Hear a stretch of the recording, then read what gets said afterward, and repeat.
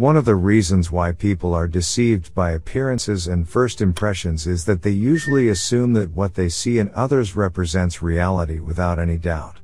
An example of this is Ana Montes, an intelligence analyst who worked for the CIA, who later turned out to be a Cuban spy who handed over many American secrets to the Cuban government.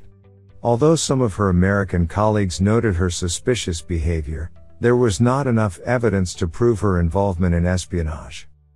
The problem facing her colleagues at the CIA was very similar to the problem we all face when we believe that what we see is the truth without any suspicion. We assume honesty, even if the evidence indicates suspicion and deception.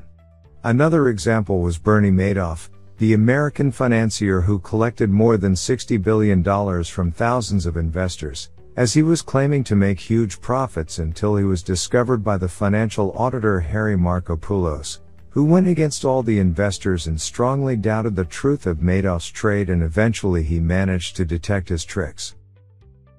Bit to remember, Assuming the truth in all matters is a human nature, and few of us are able to question the clearest things and reveal the deception that it hides.